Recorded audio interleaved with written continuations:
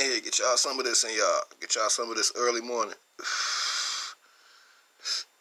Get y'all some of these early morning runts in you. What's good? It's your boy coming at you with another one, courtesy of DVE Sportsworks. I'm going to briefly talk about the state of Detroit Pistons, state of the Michigan Wolverines. Pistons, whew. I should have been, uh, man, I was so disappointed watching that overtime game. Shout out to everything King, man. I swear, man. King was, man, I gotta learn how to put this in the context. I be thinking this shit. I was damn sure thinking it while I was watching that damn game. As good a shot as that was, but he hit.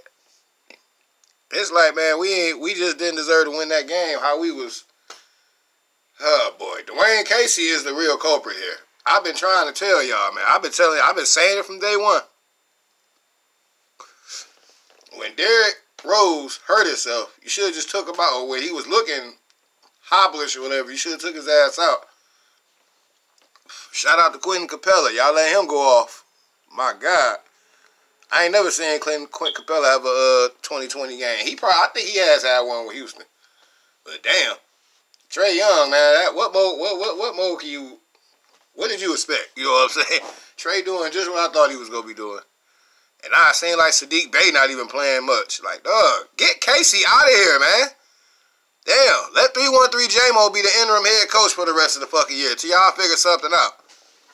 Let King make the executive decisions till y'all figure something out, because, man, I'm sorry, man. As far as the NBA go, the Pistons got the dumbest front office, bro. They just do, man. Starting with their owner who don't have a clue. No disrespect to him, but you ain't got a clue how to run a team, man. And Dwane Casey, the older you get, the man. Dwane Casey need to be he need he need to be he need to be coaching in the Big Three or something. That's just period. I like the fact that Pistons are still fighting. They compete. It's gonna be like that for pretty much for most of the year. Yeah, they gonna steal some games at the end of the year where everybody's already set up or whatever. My 20 game prediction is looking stronger and stronger. Man. As far as the Wolverines, I told y'all after that loss, after we lost to Minnesota, I feel sorry for the next opponent. I told y'all that. Period. Shout out to the Michigan Wolverines. Shout out to Juwan Howard. He got them boys. He got them boys running. Got them scrapping. Got them scraping. As I said before, you know, Dickinson has appeared to be a. He's appearing to be a fresh breath, uh, a breath of fresh air. Got Wagner coming along, Livers. I like these guys. That part of the schedule is here though. But we about to see. We really about to see what the Wolverines. It's gonna tell us something as far as them moving forward. But I ain't worried about them. I think they'll be fine. So go blue. Shout out to DVE. What it do, Morris? What's up, Chase? Shout out LB. Craig, though.